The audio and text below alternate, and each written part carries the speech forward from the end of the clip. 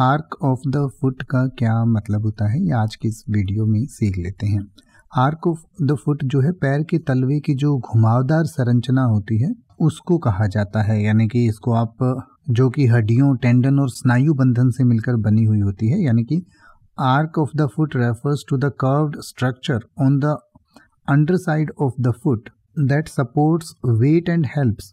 With balancing and movement. These are three main types of arcs in foot. The medial arc, the lateral arc and the transverse arch यानी कि जो arc होती है इसको भी तीन भागों में बांटा हुआ होता है और जो तलवे की जो घुमावदार संरचना होती है उसी को आर्क ऑफ़ द फुट कहा जाता है तो इसके बारे में और डिटेल से पढ़ना चाहें तो आपकी स्क्रीन पर और वीडियो के डिस्क्रिप्शन में दिया गया है आप पढ़ सकते हैं उसको और बेहतर तरीके से समझ सकते हैं अब आप किसी भी वर्ड का मतलब हिंदी और इंग्लिश में यूट्यूब पर सर्च कर सकते हैं। आपको मेरी वीडियो मिल जाएगी, जिसमें आप बिना किसी फालतू बकवास के सीधा उस वर्ड का मतलब समझ पाएँगे। तो ऐसी ही वीडियोस को देखते रहने के लिए चैनल को सब्सक्राइब करें और बेल आइकन को प्रेस करें।